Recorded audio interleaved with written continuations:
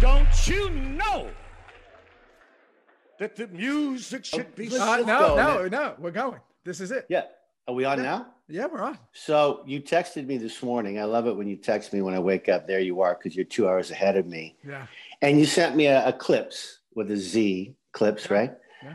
About improv. Can I can I tell you what I said on our beautiful Twitter universe? I haven't Did you- seen it yet.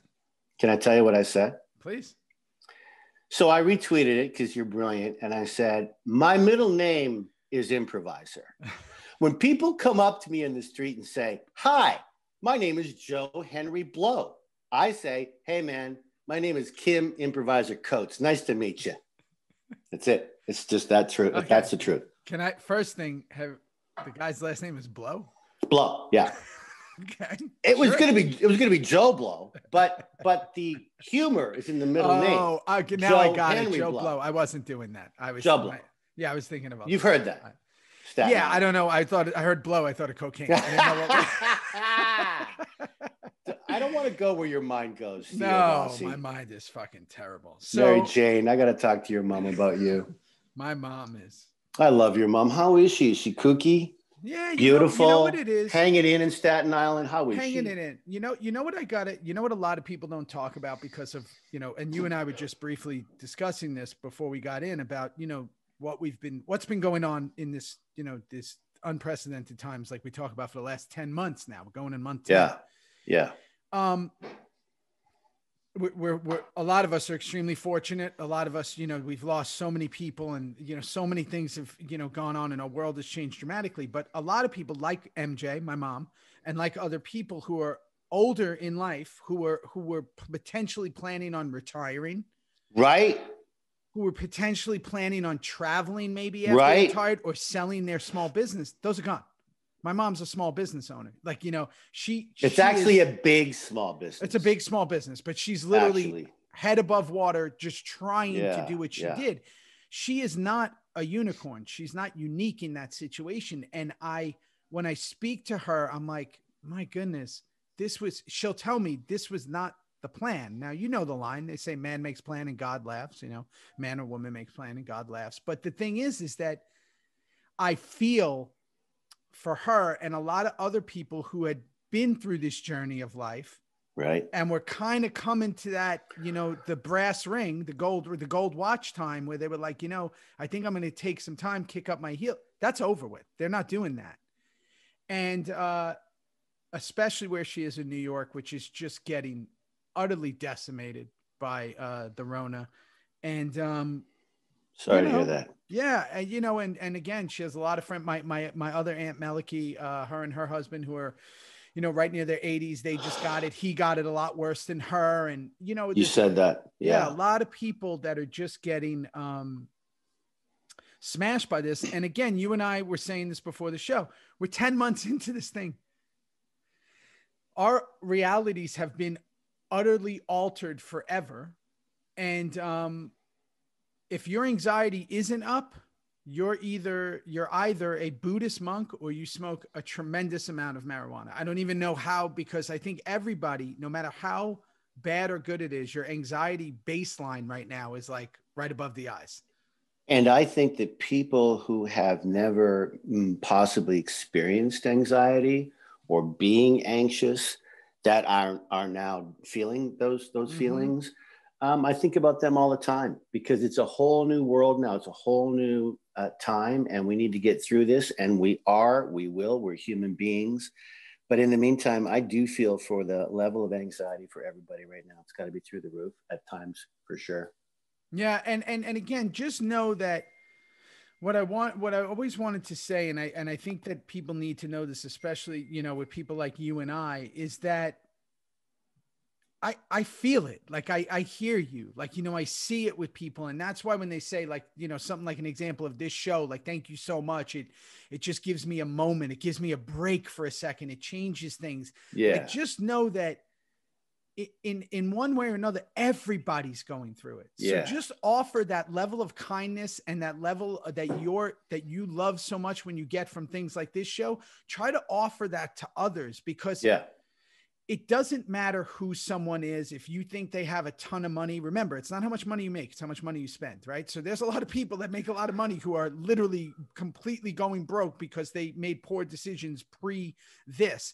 And then there's other people who are just because it's not all financial. This is also a mental game, right? There's people who are dealing with drug and alcohol uh, problems. There are people who are dealing with mental health issues that this has enhanced everything. So that level of kindness that you know you need at this moment, because we Yeah. all need it, offer that to others. You know, Yeah. when even if it's just a hello, you know, there was a tow truck driver outside my neighborhood today, like, you know, uh, taking a car and I just went out and said, Hey man, you want a soda? You know what? You know, you want a club soda? You want a water for the road? Like just offer little things that you can to people because we all need it at this moment because everybody is baselining at like the zzz. everybody's flipping out. It's, I got to tell you, this is so funny. It's a perfect segue to what you just said, which was so meaningful and true. Uh, I remember a few years ago, I, I was doing a doing a movie somewhere, and I had a house that they put me up in, and there was garbage once a week, and I was there quite a long time. And the garbage guy would come by, and one time I mm. just offered him a bottle of water. Said, "Hey, that'd be great, thanks." Every week he stopped and said, "Got my water?" I thought, yeah, it's amazing. guy's see, got my water. Yeah, that's that's go, uh, there's "Yeah, I the self actually. Let me go entitlement that I love. Yeah, that's the self entitlement that I love. We talk about that. It's so funny when people. Do you ever do that? You definitely have people in your life like that that'll be like, "Hey, can I borrow a? Can I borrow a Yeah, you know what I mean. You know, do you have five? And it's like, well, didn't I just give you the? Okay, sure. Yeah, people, human humans are absolutely. Oh, fuck. There's my H's again. Humans in themselves Humans. are just Uh, truly fascinating creatures Fascinating. and and again in this time right now that we're in it's really a revealing moment too for a lot of people's personalities right? Like if you're you know if you're kind of a bad person they're becoming like really bad because they're like spinning. And if they're like a good person they're becoming like really amazing and good. Beautiful right? Yeah. so it's like I, it, this is almost like a steroid for for for personalities.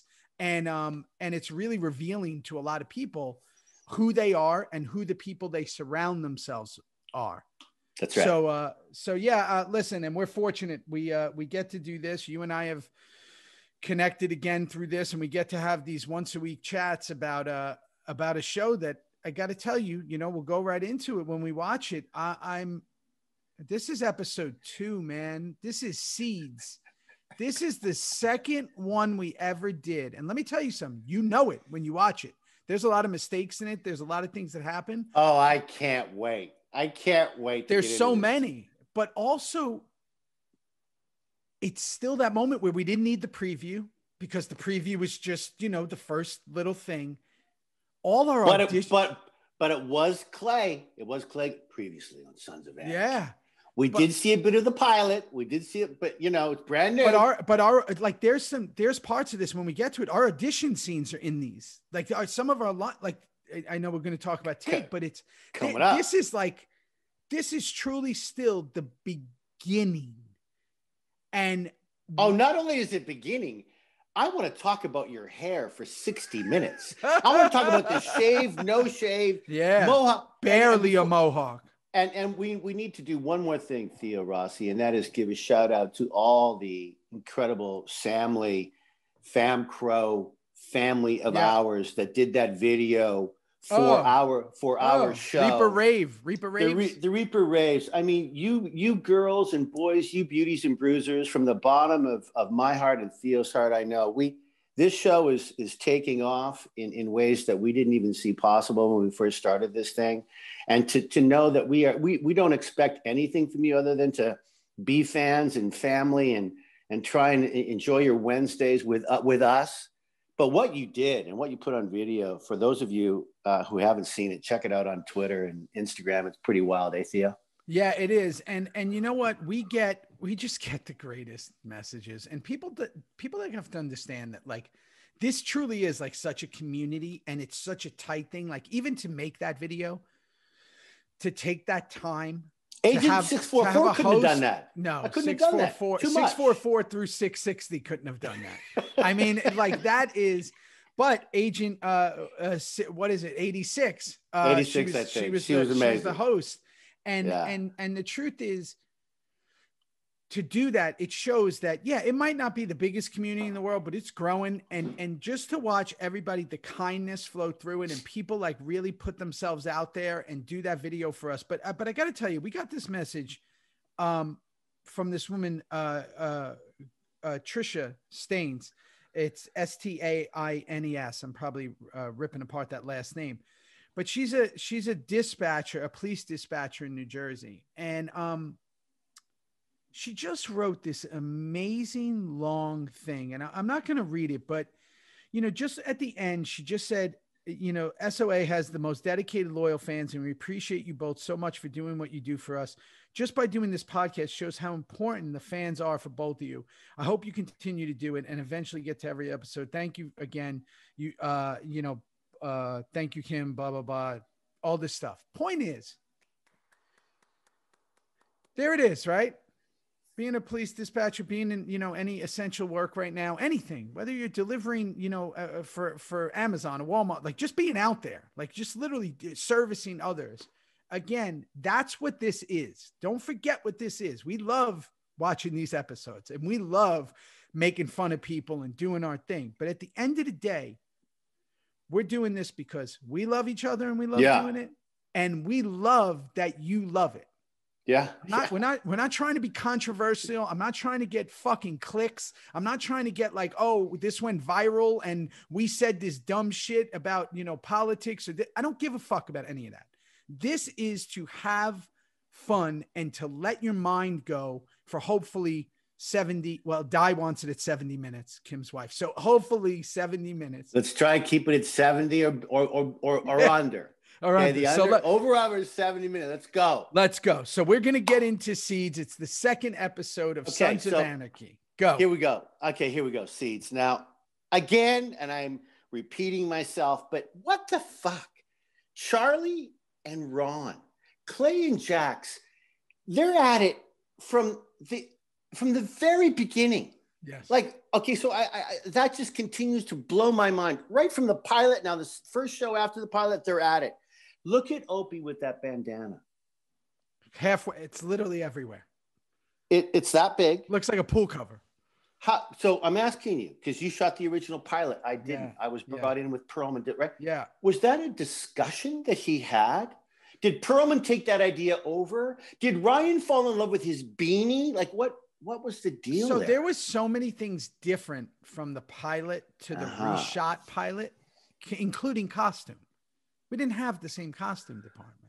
Oh, And one thing about Ryan Hurst, which I love so much about him, I really do, and he's taught me a lot, and he's really taught me to insert this into my own life, especially in acting, is Ryan is pretty steadfast in what he wants. He does not waver. I mean, you remember the, the issue with the gold tooth, and Ryan does not waver. Like he, when he wants something, he kind of there's no discussion, and I'm I'm assuming that he came up with that or the first costume people did and he probably had to stick with it now because we shot the second pilot pretty ways later from the first it was. one. I'll tell you. I'll tell you when the first you shot the first one in February. We didn't come back until like early May. So March, April, but three months later. three months later we sat Two for and a three half. months yeah we sat for two and a half three months knowing that two people were being replaced and that that we were going to reshoot it for two and a half months i was convinced it was me charlie was convinced it was him everybody was told me that. convinced they were not going to be on this show anymore So one of my questions, and I'll do it now. It's a little bit later in, in our talk, but I'll do it right now. Is we like when I see Booney without that Santa beard? gone Like, were, were, were, were you guys told when you finished the pilot in February? Hang on, we're gonna get picked up probably. Hang on, grow your stuff. Hang, like, were you told anything, No. or were you just like dogs on the loose? We'll let you know. Everyone No. went off to shoot a movie or a TV Yeah. show in the meantime. Is that right? I, I, I would think that maybe there was only a few series regulars, and anybody who knows anything about film and television knows those are the people under contract. The ones who weren't under contract but were on the show were myself, Opie, Unser, uh, Alvarez, who became Alvarez, Emilio, Yeah. because Yeah. he played he played the Tig character. right. Um, Piney. Uh, we weren't under contract, so we were told less. But because I had such a good relationship with everyone on NFX and and all, everyone, I was getting a lot of information. Um, no, I, I I I honestly thought there was no way the show was coming back. I I because it we it just was crickets. And Yeah, then then yeah. we got then we got that first lure in the water where it was it's coming back. They're reshooting the pilot. We didn't know how much, and they're replacing at least two actors. And I was like, oh. hey, mom, it's Theo. It's no, I'm your son. I'm your son. over. I was an actor at one time. Yeah. I was, and I, I and love again, where your brain goes. Of course, because that's that's when an actor thinks, you know, especially for someone who didn't have a lot to do. But never would you have thought that the main character, Clay, at that time, and his right hand person would be switched. Now, what's funny is now being in the business 20 years, of course, that's who it would be. It would always be the main character because they're the one they're watching enough of. It's very rare that it's like a side character, you know? So, listen, everything happens for a reason. Um, I think that a lot of the looks that you saw were holdovers from the first pilot. We'll discuss something in here of Jax having black sneakers on. Like that was a rarity. I think that might be the only time. I, I I never saw it. Was it in the second show here? It's in A the black- second show. Yeah. When I didn't talk- see it. But we'll talk about a couple of things that were holdovers. So Cool. let's get right into it. Um, we're still pretending to be bikers in the opening of this. Jax is welding. He's got No, and he's got the the the, the Teller Morrow shirt on. I think I think Ch- Charlie wore that three times in like yeah, and he's episodes. welding. When did He's Jax wel- weld? No, no, it's called acting We- 101. We don't do, like it was, in the beginning. They were pushing so hard that we were Yeah. mechanics, Yeah, yeah. and we got away from that real quick, right? yeah, so real real we're quick. pushing we're pushing that we're mechanics. So again, this is something that we lost too. Besides being mechanics, was Bobby like a baker or something? I guess so because he brought in some muffins. I mean, that was that was like a story point. He was a he would bake, and everybody well, him. actually, you know what? He is because we haven't done it yet, but in the first season, I'm sure it's the first season. Bobby and I are in the garage, and he makes meatloaf. Yes, he was like a cook. He brings it like so. He's a cook. yes. We didn't even see what his kitchen looked like, let alone continue on that storyline. Yeah, and and forget the fact. Let's not forget the fact that this dude has no facial hair at this moment. That is not the Boone I know. It's early. No, no, no, no. Yeah, no, no, no Santa boot, no Santa beard, nothing. It's it's it's nothing on his face except he's trying to grow a beard. So he comes in like he's baking, like this is something that he does all the time. He's like, "Hey guys, I got I got the Hey. treats or I got whatever," and and we're all excited. And I guess that was again another lost story point, like Juice being hopped up on, you know, mountain Whatever he was hopped up on, whatever, yeah. drugs, and then all these story points that kind of just go by the wayside. Us being mechanics. So then uh the deal with the Niners is done. This is when the Mayans were still like our mortal enemy, right? The Yeah. Mayans were like those were our full-blown enemy. Um so we're doing all that stuff at the garage. Then we go, Hale is the full bad guy and adversary. Right there, he's with one of my favorite people. I don't know if you've worked with Glenn Plummer before. Glenn Glenn Plummer is not only one of the true great actors out there. That that guy, he can do it all, and he's definitely on our payroll. I mean, right? He plays. Who's he play? Vic. Vic, yeah, Sheriff Vic. He played I mean, High Top in. Colors, uh, one of Yeah, my come favorite on. movies with Sean Penn. Can that can that guy fucking act? I mean, He seriously. can fucking act, and he's a great dude, and he's a great. He's like literally been a staple in Hollywood for so long. So he was he was way more than Unser. He was like fully on our payroll. Like he did everything. I mean, taking bodies out and stuff. everything. Yeah. Yeah. And he was around for how many seasons? You think? I don't know. I looked him up last night. He did like seven shows. So he gets ki- have we have we talked about that yet? He gets killed. No, I don't remember that. When? Okay. It, it's one. I think. I Season think we did. I think. Well, I think we. met It's. It's when we see Venus Van Dam Hmm. in the background. No, we did that show. He gets We shot. did. He gets plugged. that He get. He gets plugged, man. So that's like season Two. three, two or three. Two, two. Yeah. Season two, and and and that's when we bring up Venus, the name Venus. Yeah, But yeah. it's not the Venus; it's a different Venus. But we do believe that that's the the I- precipice for Venus. Yeah, I I think the way they did it, we talked about it then. The way they did it, the way they shot it, saw her. Could have been. I, you know, it wasn't Walton, but let's Could have been. But imagine, belief imagine the precipice that started four or five seasons before. So four. that, yeah, that's br- the brilliance of writing. So I love Glenn Plummer. We do that. Hale is in that mood, in that full bad guy, like hard ass. You know, he's still building that character. Um, Still building, just starting to build. This is only the second show. Yeah, Here we go. literally, Hale. literally second Weird haircut. Yeah. second week. Okay, work, baby. so let's tell the people. Um, your audition scene comes up right there, and the reason I know that is because it was my audition scene for Hawk. Before you were even a, a thought in this process was everybody knows I read for almost every character on the show. I started by reading for Jax, obviously, not Jax. Um, then I read for no one is. No, No one. one. Is, I mean, they looked at me and they were like, "Why is he in here?" And then I read for Half Sack. Then I read for a character named Hawk, which was Tig. Um, and the audition scene was the scene you did sitting on the bike. Okay, that's fascinating to me because I have to tell you, when I did my audition way back in that February, I read for Clay, too young, read for Bobby, not right. And then as I'm leaving, John and Kurt go, Hey, there's another, his name was Hawk. It wasn't that scene.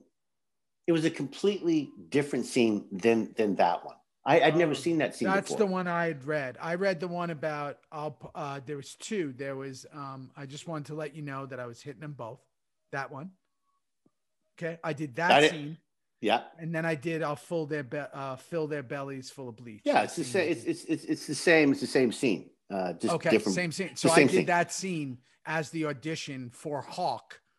So I'm I'm in the I'm in the room with Sutter in early May when they're going to reshoot this thing starting the next day, and people know the story, and they they get me in off the golf course, and I I see Kurt in that big big office of his, and he says we've got this this new guy called Tig, and uh, we we'd love you to think about. Plan. And I said, well, I got to see something. I got to. He showed me one scene, and that was the scene that we just filmed now in this what we're talking about in Seeds, and that was the only scene he showed me, and I remember looking at it going in my head, I'm going, this is it's too dark, man. It's too it's too Dark. whack. It's too dark and psychotic, and yet it's funny. The taco two for thing, it's kind of funny, um, and I can play it, but I don't. I, it's not it's not for me. But that's what- also, but also on an acting as an as someone who's watched you for so many years, I think that if you played that scene later, um, scenes five, six, and seven, Tig, four, um, even scene uh, seasons four, five, six, and seven of Tig, Mhm. you might have played that scene different than you did in in in that and and the reason i say that is this one was like tig was more like um devious like more like um this guy's off his fucking rocker tig was always off his rocker but it became more um kind of funny and and and and and weird and and kind of like all over the place right I got sure, I, absolutely. And I got to say, what I when I studied this scene when I got the part, and here we are, the pilot's over. Now we're going to start shooting the actual show. And this is really the only scene I have in this episode. I mean, a real meaty scene. And I remember looking at it, looking at it. I said, "What, what, what's, what's really going on here?" And it wasn't until the end when Clay goes, "What did your mama do to you?" yeah I thought, Mama, kid, what what do kids like chocolate bars? Kids like cho-. So I played him like a kid Mhm. having a chocolate bar. And I fucking ate that chocolate bar for Yeah. four hours when we filmed that scene. Yep. And I had chocolate on my fingers. I was licking my, and it was all real and it was funny. And it was dark and it was real. And I stood up. I remember sitting on that bike. And then Charlie Haid, what happened to Charlie Haid? He directed this episode. He, we never, got him again, did we? no he had a rough one he had a rough time We had a rough we- time. It's it's it's and it's kind of rare on our show. I mean, the FX team had those like we've talked about six or seven directors that we use that all the dude had a time, right? time Charlie had a rough time with with with all of us in the early he days. came in with a large, large ego. I don't know where he is now. He just came in with a different kind of ego. Again, remember, remember, remember. You know this about Hollywood, right? nobody believes in shit until it becomes something. So they kind of Yeah. like, they, and Yeah. again, we were just some show that everybody thought no one's going to watch. It's going to get canceled. Who gives a shit, right? These guys are all young. They don't know what they're doing. They're all character actors. There was no giant star on the show. So, you know, someone could come in and try to take over. And, um, and I You think that's what part of it was? Hey, wow. I think I go. think in the beginning that people thought they knew better, and Kurt made sure very quickly that those people were not around for long. Mhm, You know what I mean? mhm. Um, but what I'll say, what I love about television so much, and it's why I'm actually aching to get back on another television show as opposed to films. While I love films because they're the Yeah. different animal, and you know this. What I love about television is, and I, I don't even know if this is possible anymore because nobody's doing seven seasons, 13 episodes, is watching the evolution of a character. Watching Tig there Yeah, cool. to the Tig in season seven is like the evolution of a character. Yeah, like you could literally 100%. write, you could write, Sure. you know, major dissertations on just that. I think that that's incredible. And I love seeing that, not just in the physical nature of a character, but in the cadence and the way they speak. And, Yeah, good. and, and what people realize is we're finding those as Yeah, we we, go. And, and it takes a while. Takes a while. Takes a while. It was a fun day at work, though. I, I really felt that was part of your show now. When I did when I did that scene with Ronnie, being at his side and almost, I mean, it's coming up in here. I've got like five where I'm just an extra in the background. We'll talk about it. But all right, anyway, that was a great scene. it was fun to be part of. Yeah. So then there's a great shot, uh, which Charlie Haid did different, off the bodies, where it literally like goes up in the air. Do you remember that shot when you were watching it? It's What really happened? different for Sons of Anarchy. In this episode, there was a camera shot that literally was on those bodies, and then before it would, would on a crane? On a crane? Was it on a it crane? shot oh, up, cool. yes. Yeah, cool. So you got to see the scope of these bodies Yeah, in yeah, the whole cool. thing. Um, go ahead. I, there's something coming up that I want to ask if you remember. It's at the chapel scene. But go ahead. Sure. I, I mean, maybe we're there now, but did did Clay smoke a cigar in almost every chapel scene back in the day? And then remember, Ronnie was told, "How about how about cut back the cigars?" In real life, he was told In that. real life, yeah. Yeah. So because he, was smoking them like crazy. cigar, cigar, cigar. Yeah. Right. Um. Do you want to hear my line from that and tell me if you remember? Yeah. Go. So at this moment, I always remember this. You know, you know the deal. I don't. We look so fucking young. That's all I I look so young. I don't remember anything. But here's what I remember. We were vibing as a cast. It was our first real time where we were vibing, like Yeah. really vibing. Yeah, I agree. And Jack said, Charlie said, whatever you want to say it as, said the lame duck line. And somebody did an improv where they went, "Wah, wah," and everyone started doing it. And we all started going like, wah, wah, wah, and we were all vibing, right? I forgot that. And then none of it's in the show. no, they cut that right. Cut out. it out. But we That's kept improv 101 we good, but no, no, no. doing it. Yeah, penguin duck. Yeah, Yeah, and we kept doing it, and it stuck around a lot. Like throughout the seven, eight years, eight years, we, we would sometimes ha- rehash that duck thing when we were at the table, good for you. and that's where it was. And I'll never forget it because I remember sitting back and hearing the sound and looking at everybody's face, and we're all smiling, we're all laughing, and it was like, oh shit, we're in something that's pretty cool. Like we're like this little fraternity of guys, these character actors that have, you know, really fucking you know, always a always a bridesmaid, never a bride. And here we are in this thing. And if it works, this would be pretty cool if it works. We kind of like each other. And uh, so I remember the lame duck line for Unser, and it and it really made me laugh. Um, okay, Good memory. No, that's a good memory. That's like equivalent to the chair memory. That's a Oh. good memory because that duck thing, it went for it years. went for no, years. So so Funny. here's another thing that didn't really stick throughout the years. Unser was paying us to protect runs. Was Unser Yeah. doing criminal activity? yeah, he was, and and he also the second thing out of his mouth with Clay in that scene is, "I've got the cancer. I've got the can." Like, what's wrong with me? I thought we found out he had cancer in season three. No. season two, smoking No. the first show after the pilot. I got the cancer. I'm out. Yeah. He's been alive Boom. for 90 Right over my head. longest. Yeah. Yeah. I mean, they love they loved him, and he just. I got to assume that there was probably multiple times in the writing where they're like, "Do we? Is he dying?" So think of so think about this. Kurt Sutter, in the first two shows, pilot and now seeds, has planted the seeds Literally. of who are the cops, What do they do? Who's on the payroll? Who are the good cops? Who are the bad cops? Who are the some in the middle? What is what is what's happening with these this biker uh, club? Who who are they?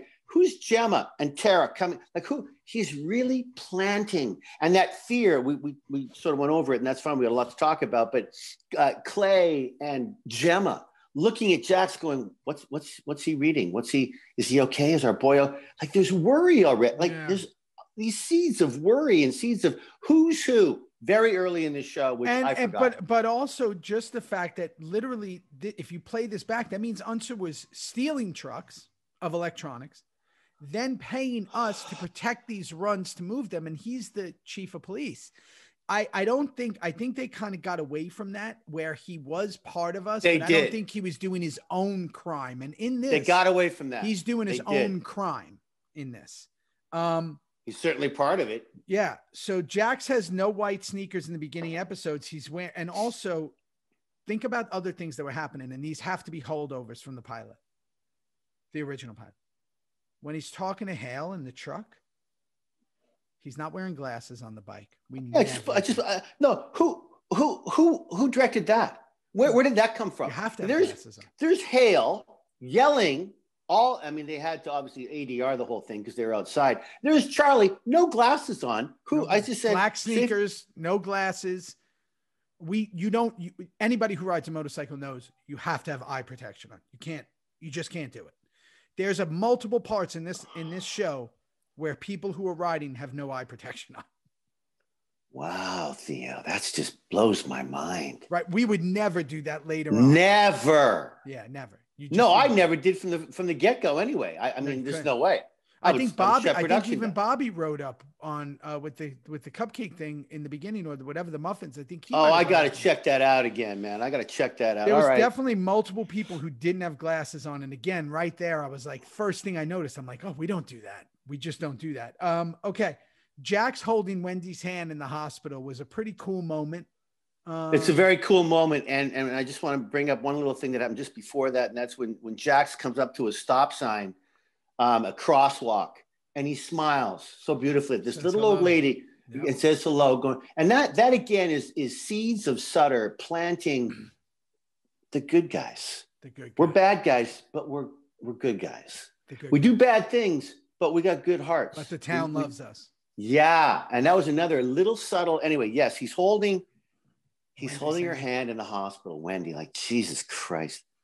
Yeah, and and again, it shows that even though they're not together, even though he says that they've, you know, they got divorced, whatever it was, however long before, but she had gotten sober 11 months before, and but it just shows that he, it, again, again, not to keep using the same thing, seeds. We're planting who these people are, what their character flaws are, yet also what their character positives are, you know, stuff like that. Um, okay, Opie behind the eight ball with Donna, like he's in the kitchen, he's behind the eight ball. So why, why Theo? He came into that scene hot, hot. He's out Angry. of prison. Okay, but he's, but, but he's, it's like I don't know. He, he's, he was boiling over money problems, money. I mean, I guess is it just that? Is it getting back into the club? Not so- telling Don. No, you get out of prison. I mean, listen, you get out of prison, and obviously the recidivism rate of everybody going back in is usually very high. And the reason why it's so high, and I know this, you know, from all the stuff I've been doing with prison reform, is they come out, they don't have anything. You know, and and and you got to remember everything's taken away. Most states you can't vote. Uh, Yeah, you have to. yeah. If you go on, a, if you go to do a job application, you got to pick that you have. You know, you got to check the box that you have a felony and all that. So they really put you behind the eight ball. I thought that was so well done because this guy's coming out who went to jail for the club, probably could have ratted, didn't, you know, Didn't. went there, did his time. His wife, Donna, obviously had problems with the club from the beginning, you know, doesn't Get-go. like the club. They're having all these money problems, which leads into the Piney scene, which, by the way, is one of my favorite scenes that I think I've seen. One, Piney doesn't have glasses on either. Okay, that's first thing. Doesn't have glasses on the bike. He, pu- he puts that oxygen so far up his The nose. oxygen is keeps all the way up. keeps the nose. helmet on. Didn't bother taking the helmet off. Did the whole thing with that little fucking helmet on. He tells him, grow a dick and take care of your business. Again, like if, if that doesn't show you who Piney is in the second episode, there, there is, there is no games being played with fucking Piney Winston. It is grow a dick and fucking get out there and do what you got to do. I'm not giving you anything. I'm not giving you a dime. Not a dime. Grow a dick. Grow and a then he gets on that trike and just fucking takes off. peels out. That's an original nine right there. First nine. I don't fucking Peel out. care. Yeah, peel out. I've been alive And too it- long for this it- shit. And if you think props had an easy time finding him a lid that oh. would Oh. actually squeeze on top of his head, no, they didn't. looked like It an was a- eraser. It looked like an eraser on a pencil. well, like, and, and you know, the girls this week were giving me heck that I couldn't wear a hat and glasses. I brought Oh, that out. looks Just cool. Cool hat. see, it's yeah, Saskatchewan, baby. Great hat. Great But you know, I, I, I wear them low and it hits my glass. So, but you know, Piney's was up here. freaking Piney just sound like a cupcake on top of his yeah, head. yeah. And so I love that scene. And again, shows Opie and Piney's dynamic right away. Okay. Um, here we go. Smoking cigarettes at the table. Okay, and before we go in there, Theo, I, I I have to mention to everybody how things, and you brought this up beautifully 10 minutes ago, things go by the wayside. Yep. Things just kind of went by the wayside, right? Do you know what went by the wayside? I'll never forget when we go to the chapel for every single scene, phones. Put the phones in the box. Oh, box. we did that in Take the the original phone- pilot. Pilot, first scene, Yeah. second, third. You watch, and then it just goes, fuck it. We're not doing that. We're not anymore. we're not doing that anymore. It's a waste of time.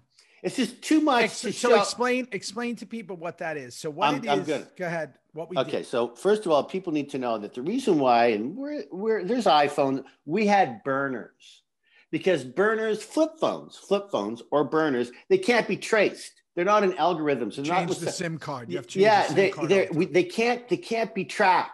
So we all had flip phones for a reason because we were part of Sons of Anarchy Motorcycle Club. So we all had burners, but we had to throw them in that because because there was no. What if you left your phone on? What if people someone someone and also we don't yeah if you could hear something that- could implicate you in a crime Right. correct you you yeah you all of a sudden you called your your mechanic and you left the phone on and you're talking about decapitating a you know something uh, and it's on your phone so we left them on the pool table. I just i just noticed that. I remember show after show and then it just finally went away thank god. And in the original pilot we would put them in like a big cigar box and like close the box it was like, it was it, it was there Oh, in we this would scene do that. we Yeah, just we didn't would- shut the but but yeah that's right. We would so that, tommy that did went that away yes. And tommy said went i'll away, do it. And that went away quickly really quick. That was just a waste of camera waste of film. We weren't doing it anymore so jax is there everybody's smoking cigarettes i'm smoking cigarette everybody's smoking i'm not uh, i was and we were really I, smoking I, am going to tell you when I started, but it's not here. Anyway, you were. Everyone was. Ryan, Charlie, Bobby, you.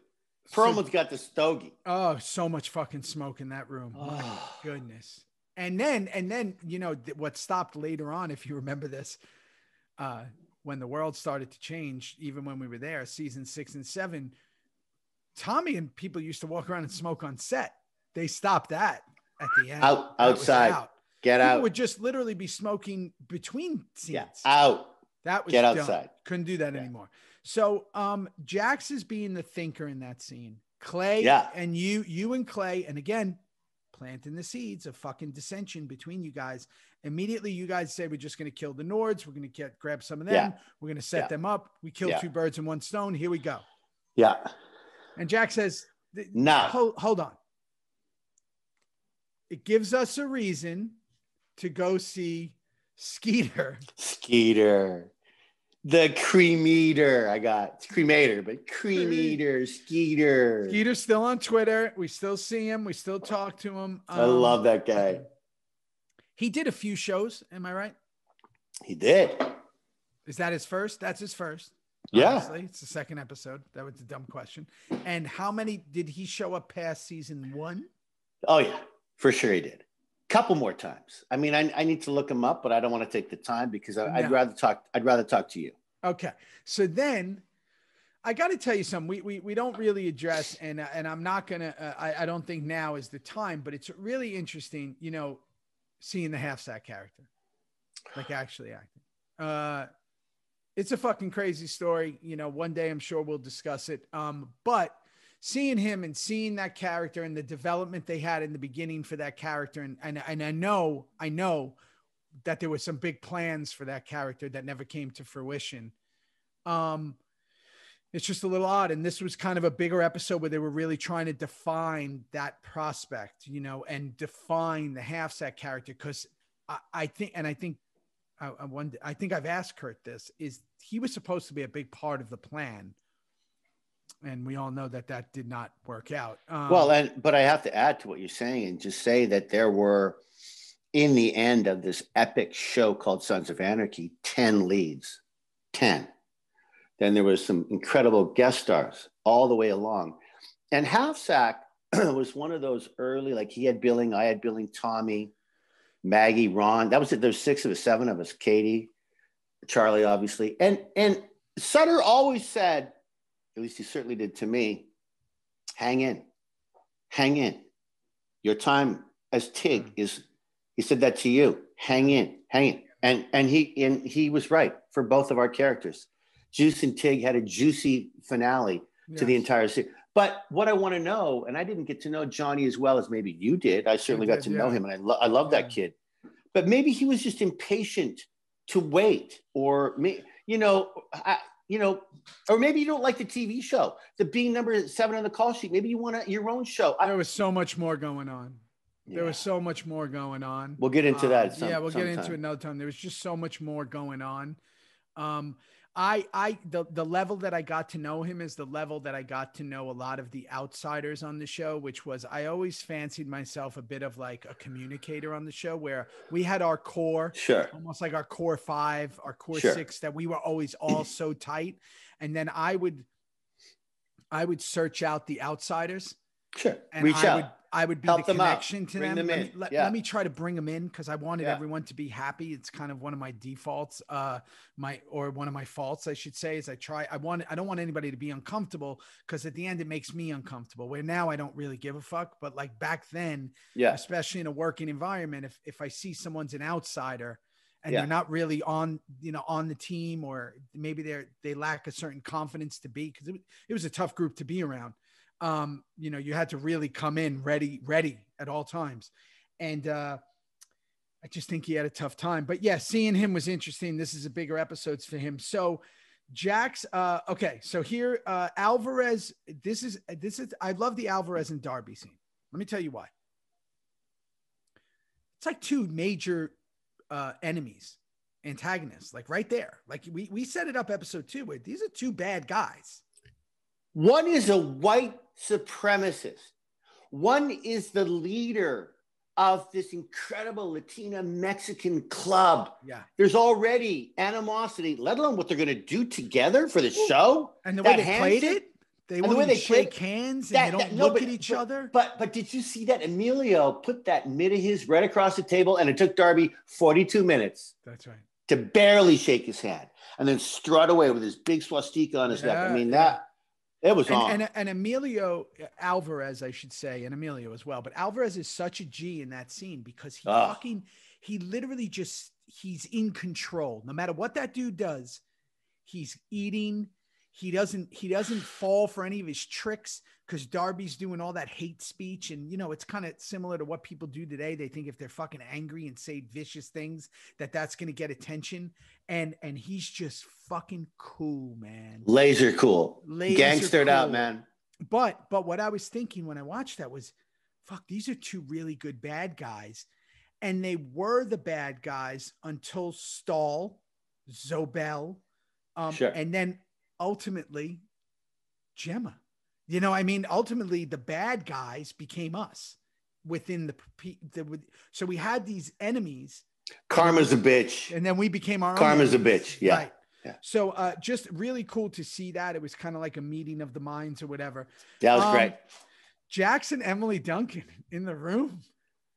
Okay, so you know, like, hi, what's your name? Uh, Charlie Hunnam.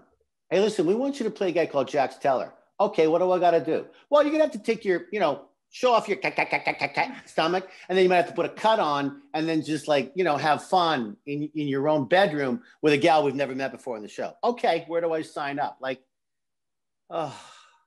what a rock star. He's a total rock star, and she was a rock star with him. What a what a what a great freaking! I mean, But just a I go, great scene. Emily, Jax, shirtless, cut, cut, cut, Yeah. woohoo!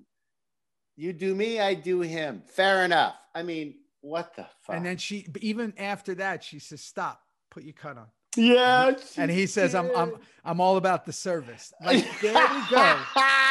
There we go. Fucking Jax Teller. There, there we, go. we go. Oh man, come on. I mean that that is you know there's there's some characters on television that are just so fucking cool.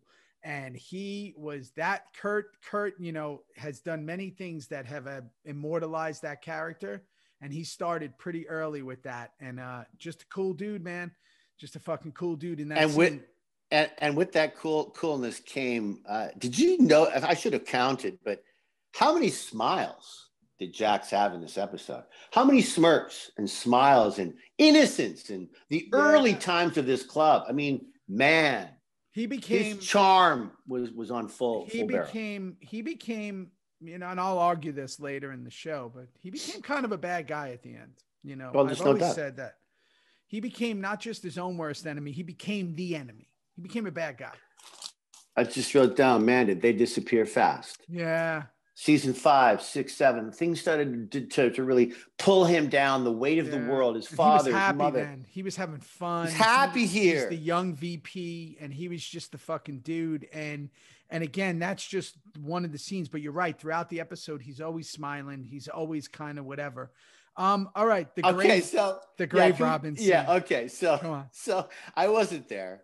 And I, I just want to know like how how ready were you like a puppy dog to help out? Like you're just jumping down. Look at I mean, first of all, I, I just dug a hole uh, in my my cabin that I have here in British Columbia. We put a new deck on and I was helping like my buddy. I remember I di- saw the video. it- right. I showed. Right. It, it took Yeah. me eight hours to dig like four Yeah. feet. Like he's digging the, the, a graveside like in But it took about minutes. two weeks. Took about- Two this show it would have taken two weeks. Anyway, weeks. doesn't matter. It's a TV show. Without a bobcat, it would have taken two weeks. so yeah, so he's down there with the shovel, and then you just jump right down. Helper, helper.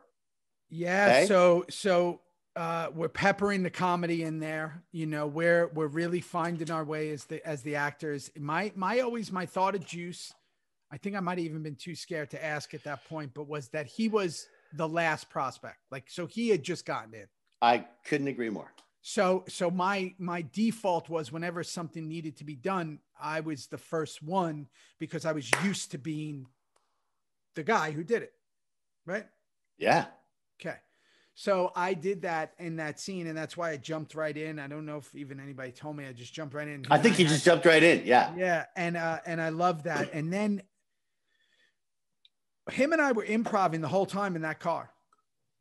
We were just Love that making stuff up, and uh, we were just running it while the car was driving. We would just kept going back and forth, you know, uh, Sack and I, and we were just literally doing it. And again, this is before I knew that that wasn't Gonna be in the movie. You're right. That if you did that, that might even be a problem. I didn't know that. I was just doing what we what I did on any other project, uh, and especially if Keeping it alive. Keeping it dead air- alive. If there's Yeah, dead air, keep it alive, right? Like Keep say it something. alive. Don't just not say anything.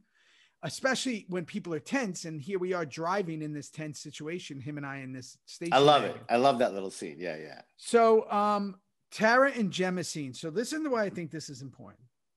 The beginning of many, many. This is really the Whew. first of them having that moment.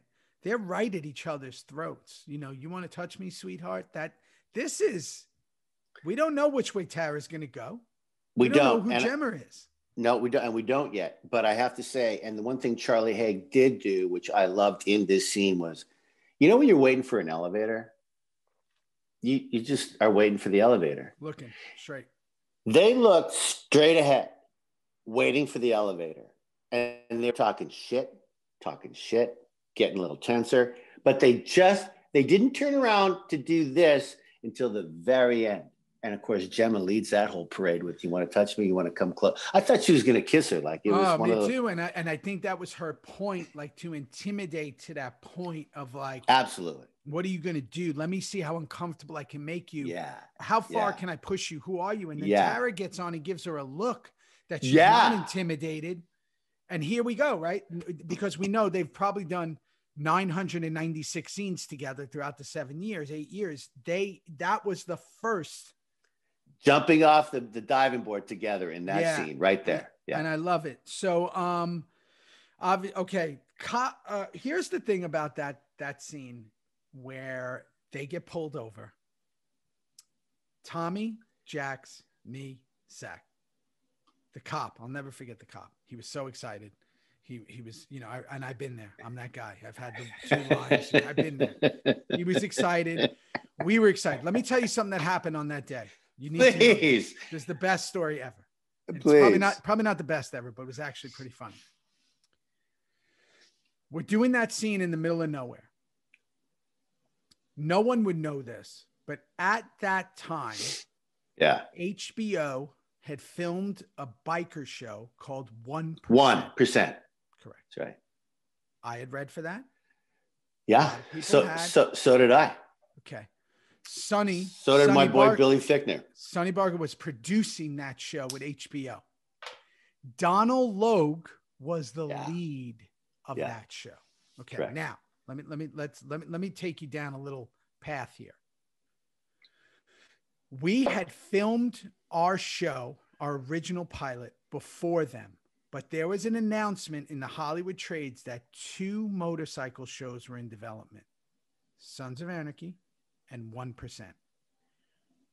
If my history lesson of Hollywood tells me correctly, Kurt and them had pitched this show to HBO and they said no, our show. And then when FX decided to make the show, because HBO lost out and thought maybe we missed out on a bad on a good idea, they greenlit 1%, this biker show. They we filmed first and now we're here we are filming our next two episodes. We're in the middle of nowhere, me, Tommy, jack's Sack, like I just said, smoking our cigarettes in the middle of this country road in up uh, North California. And we knew about their show. They knew about ours.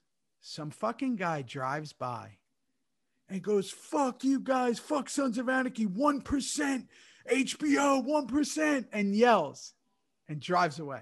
Are you making this up? I'm not making this. I can't make this up. I'm not that good. And I would, I thought, are we in a fucking turf war with fucking HBO? Oh fucking my 1%? god! And me, Did they have that guy? Did they have that guy going out on every road looking for us, filming? I don't. Going, I, Fuck if, if he just happened to be a grip or something, maybe he was driving to work and he happened to live up there or whatever. And Tommy, you know, Tommy, he'll fight at the drop of a fucking penny. And I have zero patience for anything, so we're just ready to go. Ready I'm to drop trout. Let's, Let's go. go. I'll uh, knock you out. I think drop trout is take your pants off, but I don't. is. It- it- okay, it so is. I don't. I definitely didn't want to drop trout. yeah, Yeah, yeah. I want to keep my pants on.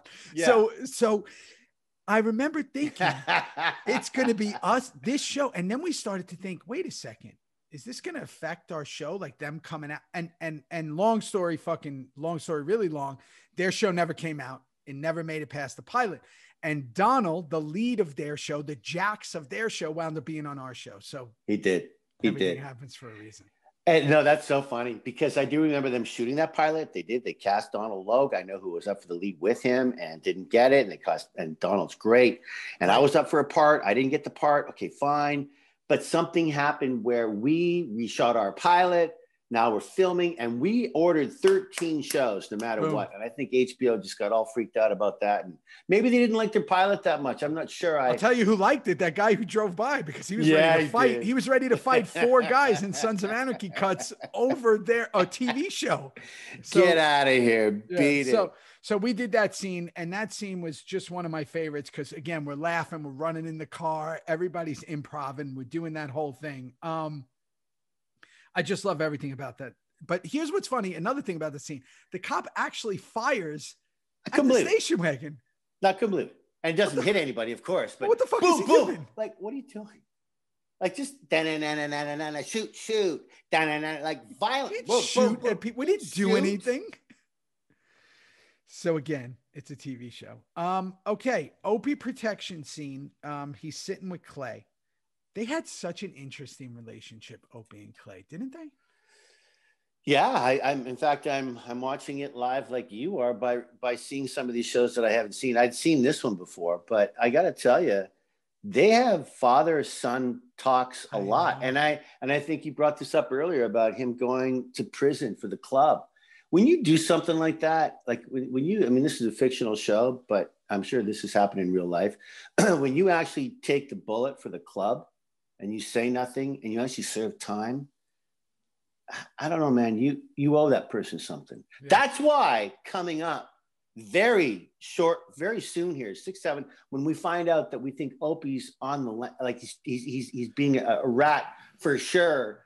The the the tough thing that that Perlman and I had to do in that chapel to decide to take him out, which is so sad that we had to come to that decision then. But yeah, they had a lot of talks together. These two, and I, and I do feel I do feel like Opie had a lot of admiration for Clay. I think that, and I think it did. bothered, and I think it bothered Jax. I think that Opie really liked Clay, It did. That's a very good point. Um, and I think that that's something that we didn't explore as much. But I think that maybe at one point I'd be curious what Kurt said if there was ever a thought of like using Opie as like because I know we touch on it a little down to really when when him and Jax were having all those problems, but but seeing their talks that's not that's one of many that they had. one of one of many and and also you you remember this theo there there there were times where opie would talk to jax like no you're not the president he is he is. he is count and they were they were best buds and they they were to the very Opie end was Opie was way more like Team Clay, you know, Like whatever people Team say. Club, te- yeah, Team yeah, Club, yeah. Team Team History. So Yeah. here's here's a funny thing about that came up. Um, the next scene, yeah God, this I remember this clear as fucking day. We're dragging that body, the guy, yeah into the car big guy. No, we're at the funeral home. We're setting. We're oh setting, that one We're setting the scene. We're Oh. setting the scene. that one okay We got the two dead cadavers. And here's this I'll never forget this. Remember, we're all starting to figure each other out. We're all becoming friends. We realized who we're with. Charlie and I were super close, you know, and we were doing our thing, and everybody's kind of figuring it out. Tommy's a wild man. The crew, you know, that wasn't necessarily our crew that was with us for seven years, but they, they were, you know, a lot of them were, were, around for a while. Everybody's getting to know each other. Are we Yeah. going to be on this ride for a couple episodes? Are we going to be on this ride for a couple of years? We're still trying to figure it out. The guest stars who would come on, they don't know our show. It hasn't aired yet. So they're just there for work. They're not in awe like they were In season five, six- season on, yeah. five, six, seven. when you came on the show, it was like kids in candy Huge. store. Right. yeah That big guy who plays that cadaver that we're that we're gonna put in the front seat, the one who we dig up. yeah.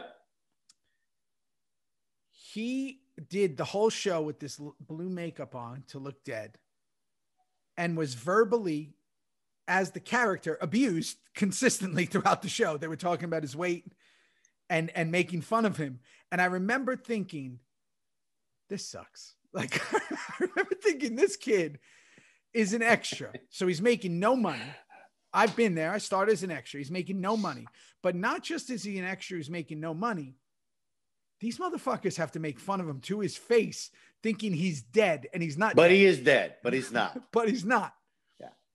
And I was like, so I obviously was hanging out with him the whole night and befriended him and whatever. And I just because again, I had such a because I was an extra not too long before that. little puppy dog in you Yeah, love and it. I remember thinking like, don't take this shit personal. Like this is just a fucking TV show, and we had to drag him, and and and you know, I Jax know. would I say wasn't the there, but I lines and- it. Yeah. Half Sack would say those lines when he was in the hole with him. But I remember just thinking, man, if people really knew about acting, you know, it's un- I just so I just felt bad. And, I, and that scene always remembered me the these horrible things and you know painted blue and all that. So okay, so we do that scene. Uh, we have to fire off the gun. Safety first isn't there. If you notice, I'm not one of the guys firing. Um, the reason I wasn't is because um, that definitely wasn't safety first that night. There was a lot of people just firing guns and and uh, those blanks. So if you see me, I'm actually in the back. I wasn't one of the three firing. Good.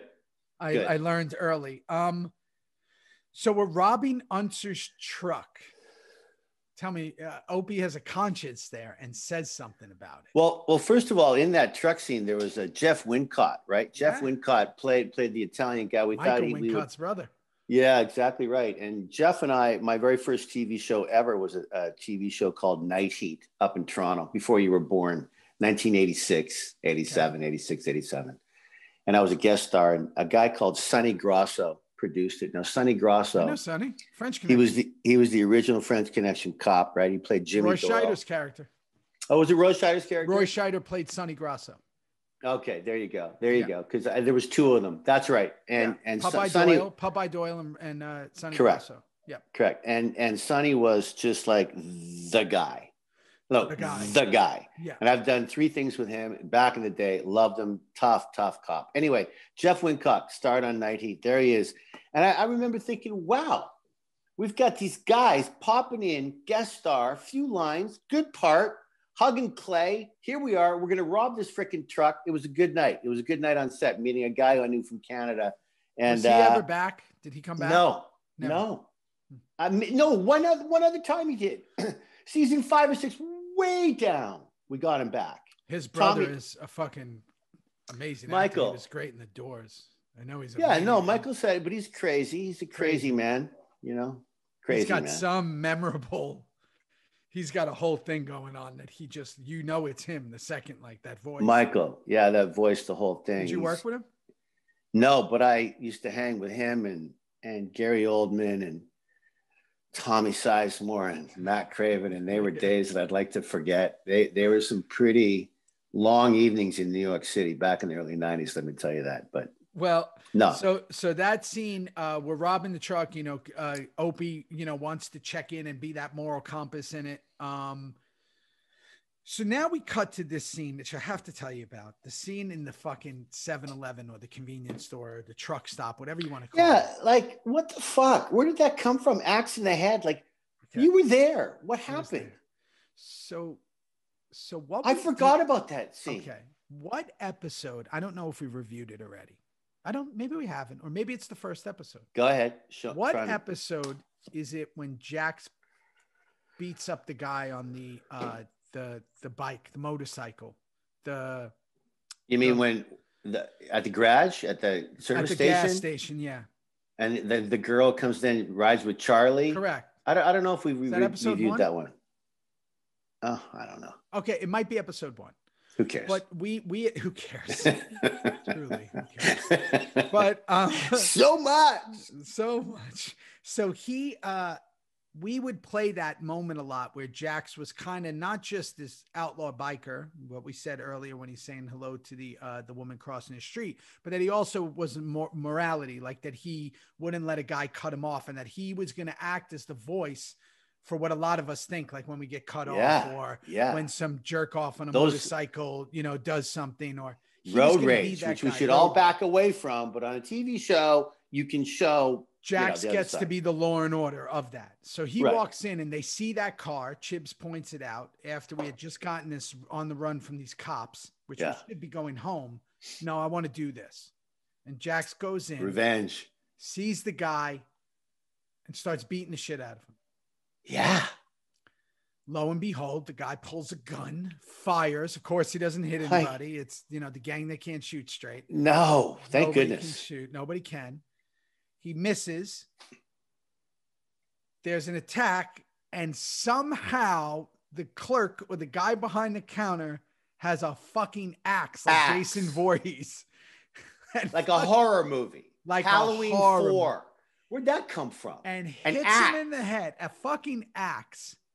And I remember when we were doing that. How did that apparatus stay on top of his head, Theo? How did they figure it that was out? cut out and it had like a little latch, like a like a clear, like a clear thing that was attached.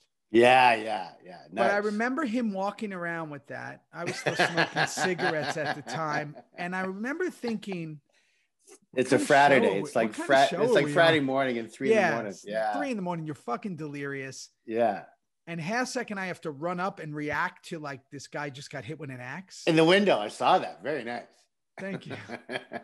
But Very that was well real because I was questioning what the fucking show was about at that moment. Where I went, "What is this?" Like, nobody gets hit with an axe in the head and dies like that, like the way he died, where it was like, oh, you know, No, no, it was the greatest. I thought, what, what it was campy. Doing? It was a little campy. It was, It was campy. way campy. way campy. But again, we're finding our way, and I thought it was really interesting because we didn't do shit like that. We didn't do shit like that later on. So that was just this crazy scene. Um, okay, so now we got Clay going in on Unser, setting him straight on that talk. Okay, and we're not even going to talk about the talk because we need to talk about something that's more important. For all you kids out there who want to go into acting and and figure it out, and you're listening to Theo and I, and, and you're taking your classes, I want you to look at that scene. This is called Acting 101 by Kim Coates as Tig Trager with no lines. What do you do in the background? What do you do in the background? And I remember when they set up the cameras, Charlie, he set up the cameras. There's Unser, there's Clay, and he wanted Tig in the background, just hanging out. If you look at that scene, you will see me checking over my shoulder, checking over my shoulder, adjusting my belt, turning my back to the. But I, I'm always listening, and I'm always trying not to steal focus. But you got to do something. Anyway, I just thought that was kind of cool. Can I ask you a question? Did I have a Sure. dream? Did I have a dream about this, or or is this one of the alternate realities? Alternate realities I live in, which you Um, have, which you have all the time. Go multiple ahead. by the way i live in multiple alternate realities um let me ask you this we were shooting at some kind of like horse ranch Yeah. okay there At was the a, at, at the end of season one, we, we went there a couple of times. okay there is a scene that you and clay filmed Yeah. just sitting together Yeah. did that make it in the show Yeah. okay that's coming up correct Oh, yeah. In Okay. fact, let me tell you something, Mr. Altered Reality, which is quite true right now. That scene, you're in it. That scene is when I break down about Donna. thank you I break down about i remember Donna. that day like and Clay, Clay takes my my head in his hands with a horse behind, going, "I never thought about what this is doing." It's a beautiful. Kurt Oh, I directed. can't wait. It's that's it's the last episode okay of season one. okay We're- i can't getting- wait i yeah, can't yeah. wait but it's And you same, and you were there. it's the same location that we might Yeah. have been in for this Yeah. Okay. I just I had a flashback.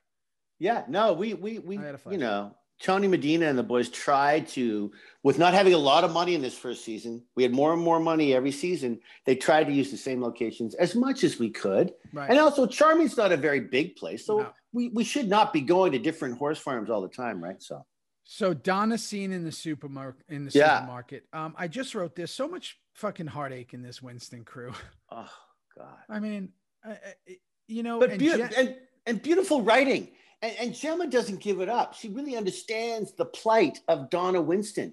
And Donna Winston's telling, I don't want to be. She goes, I get it, but we're having dinner tonight, seven o'clock. Bring the kids. Right.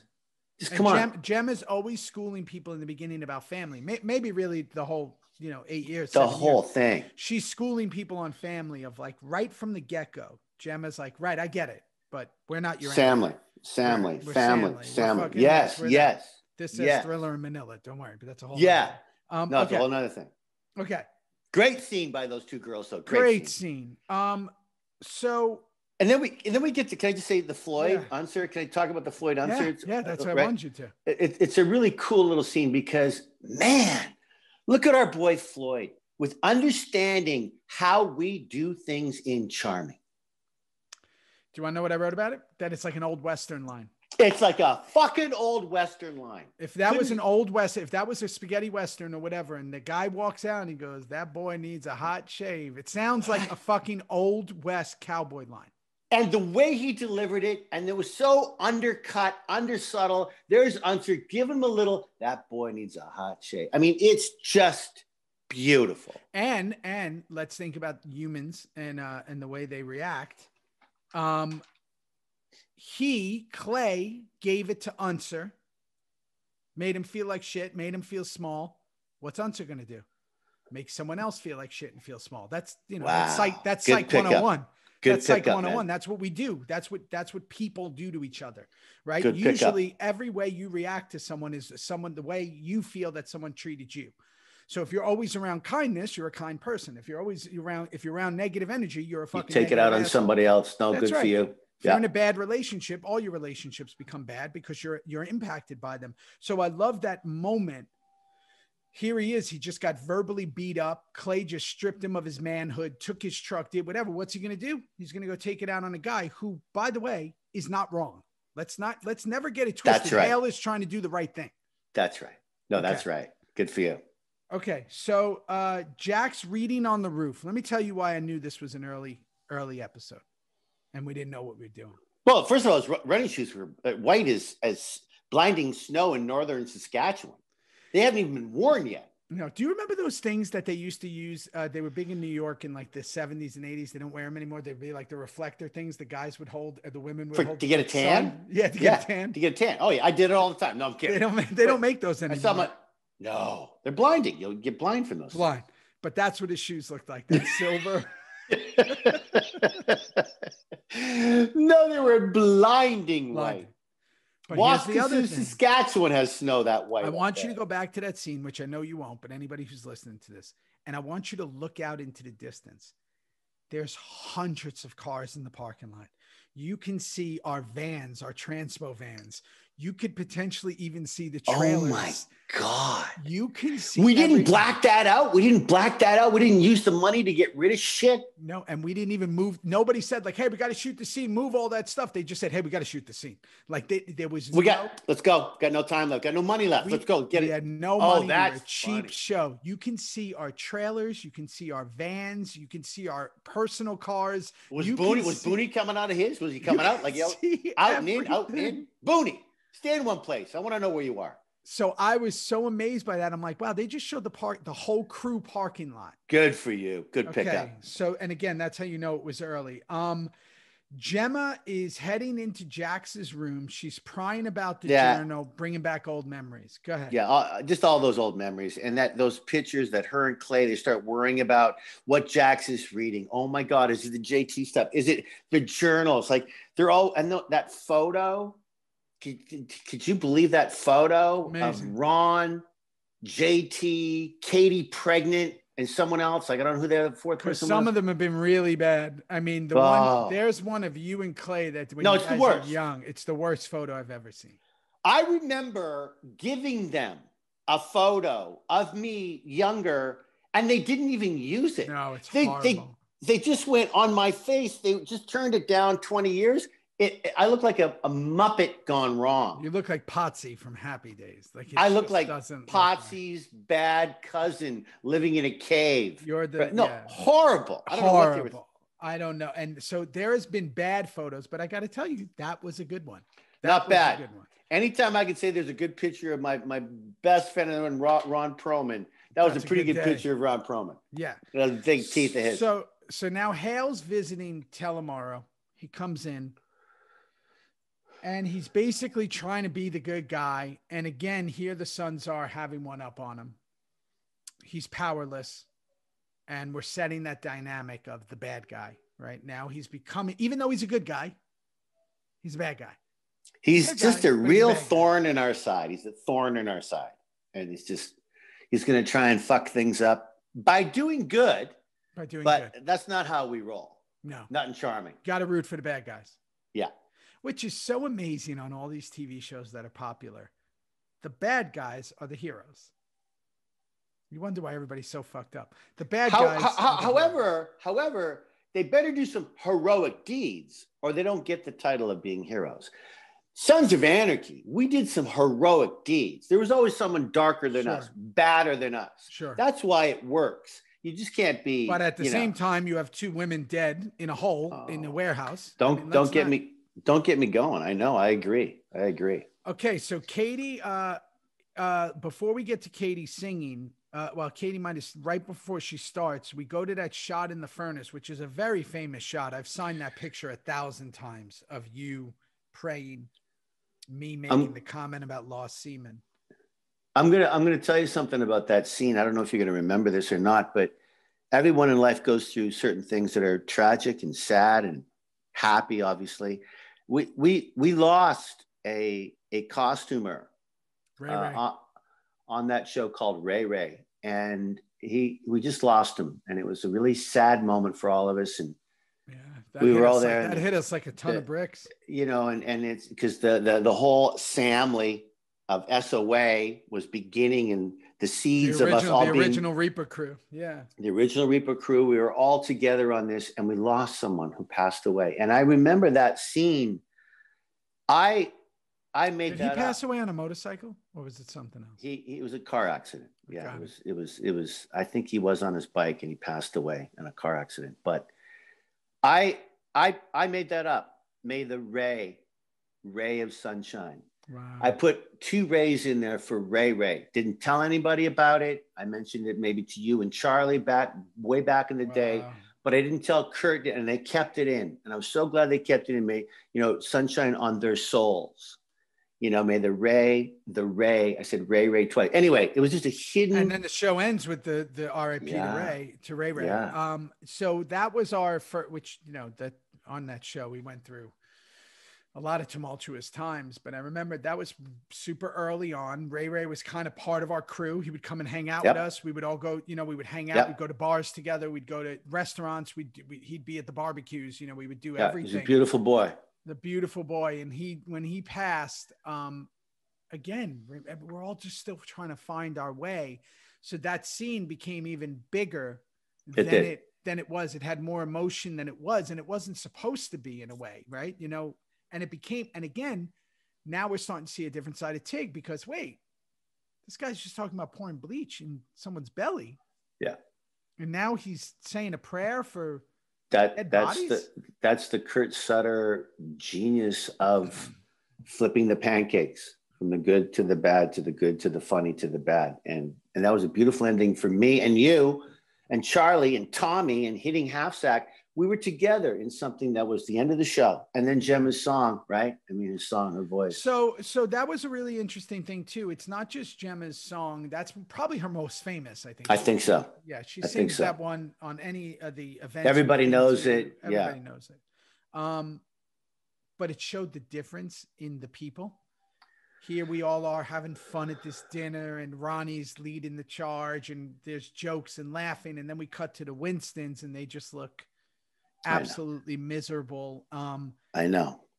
and we start cutting around to people excuse me and we start really seeing the dichotomy the difference of these characters. Um pretty fucking brilliant man. And then obviously the shout out to ray ray. Um yeah man I, you know listen this is that early stuff. This is this feels like nostalgia. Like you know you get lost and you get a little um you know maybe like you don't remember the middle ones as much especially when we were really in it um but there's always certain things from every episode. And I think what makes this show so special that we're doing is it made me think of things where I had to pause and go, how many years ago was that? Yeah, That feels- 2008, 2008, baby. It was 12 years ago. 12 years ago. And I remember You were you, you were you, you were 14 years old. You I were was 14. 12. I was six years old. I mean, come on. I was 80 back then because I looked you really good 80. playing. You are Nosferatu. 92 you are right now, the other way. You are literally aging in reverse. All right, come on. All right, Let the people go. Let them have Let their him go. I love you. What a beautiful. Wednesday. I love you. I love you. See you in a week. Be kind, We motherfuckers. Be, Be, kind, you motherfuckers. I love Who you. cares? Goodbye. Goodbye.